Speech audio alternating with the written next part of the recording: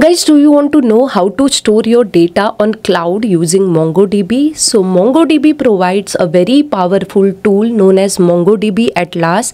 Using that you can store your data on cloud. So hey guys, welcome back to my channel. Guys, in this video I will walk you through setting up MongoDB Atlas, creating your first cluster and connecting it to MongoDB Compass. So guys, by the end of this video you will be able to manage your database with ease and you don't have to be expert in the database. So guys let's start the video. So guys you can open any of your favorite browser and simply search for mongodb atlas and you can see the official website of mongodb. Here you need to click on this link atlas databases.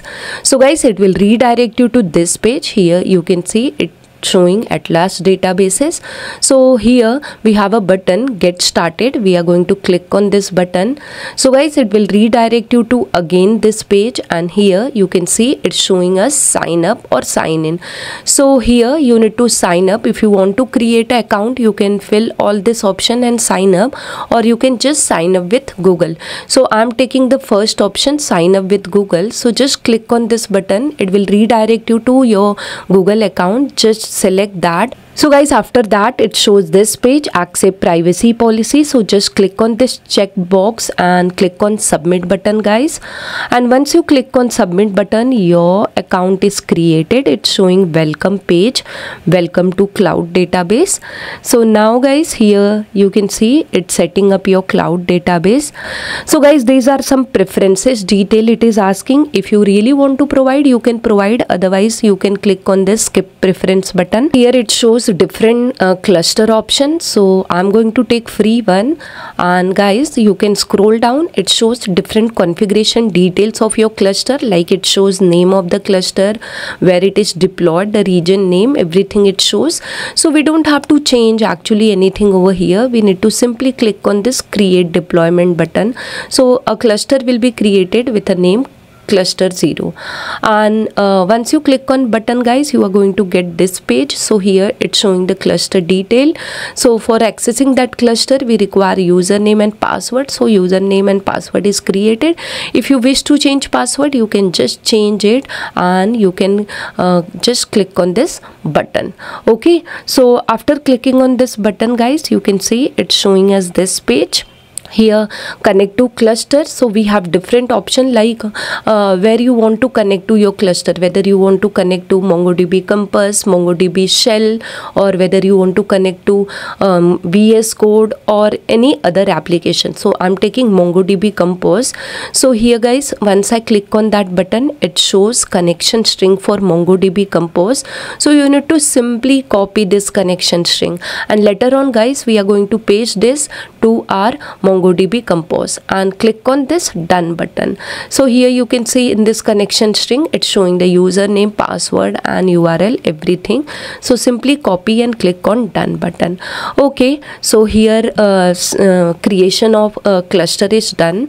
Now what we will be doing we will be going to our MongoDB Compass because I would like to connect my cloud database to my local database also so that if I create anything locally it gets stored on cloud so now here i'm just starting mongodb compass.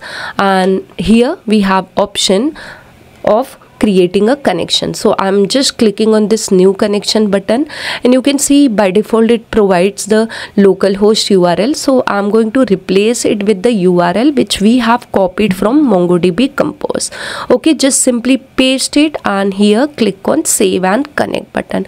So guys now you can see here at the left side in the connection we have localhost along with mongodb atlas connection. Okay so here you can see the connection has been created successfully. Now whatever databases or uh, collections i'm going to create over here? That will also be stored on my mongodb atlas. So if you are creating locally it will not be stored. If you are using this connection that connection is for atlas so then it will be stored in atlas. So guys now let's create a database. So simply click on this create database option and provide the database name. So i'm providing database name as demodb and you need to provide collection name. So collection name i have given as students. So guys you can see my collection is created. Now we are going to add the data. So simply i'm going to click on this add data and i'm going to select the second option. And here we have option of json and tabular format. So i'm just going to take this tabular format. And now the id has already been created. I'm going to click on this plus button and i'm going to select add a new field. So let's add a new field. So first field i'm adding as name. And here i'm just providing name and the data type is going to be string. And then again i'm clicking on this plus button. And the second field i'm going to provide as roll number. And some roll number i'm providing and i'm taking data type as int so this is done guys. So guys i want only these fields in my collection. So i'm just going to click on insert button. And you can see guys uh, document has been inserted to my collection. Here it's showing me sunita and roll number one. So um, creation of databases collection and document is done. Now i will be again going to my mongodb atlas and i'm going to show you that yes actually the data has been stored on cloud cloud so here i'm clicking on this cluster. It is just uh, loading my cluster. So guys it has opened my cluster and here it's uh, showing me this option. So i'm going to just skip this. And here you can see now under collection it's showing me demo db and students collection right? So in my demo db database the student collection has been created and you can see the document which is added in that students.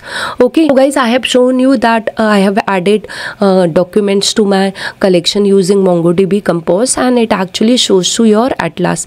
Now I will add one more uh, document uh, through Atlas and then we will check whether it is shown in MongoDB Compass or not. So simply again here insert document option I'm selecting and I'm providing some uh, fields to this document the way we provided in MongoDB Compass.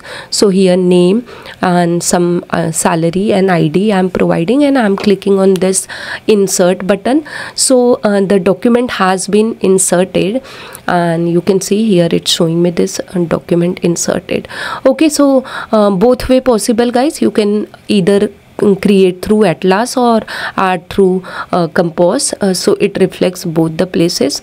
So now uh, let me uh, take you to um, compass again. And there we will check whether actually uh, the document is added or not. So here we will be just refreshing our database. So right click and click on refresh button.